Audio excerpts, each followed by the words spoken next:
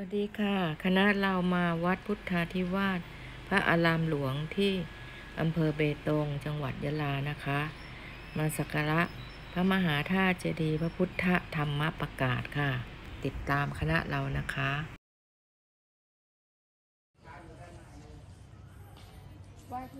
ด้านในก่อนก็ได้วัดค่ะพุทธาธิวาสพระมหาเจดีย์พุทธธรรมพระประกาศ ชั้นหนึ่งเรามามาสักการะรอยพระพุทธบาท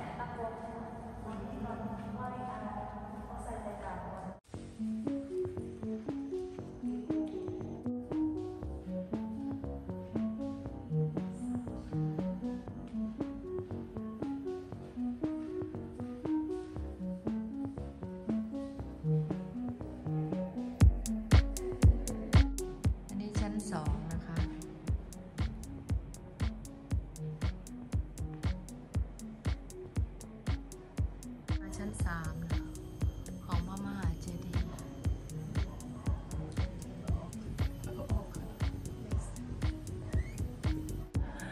นี่ค่ะมากราบพระบรมสา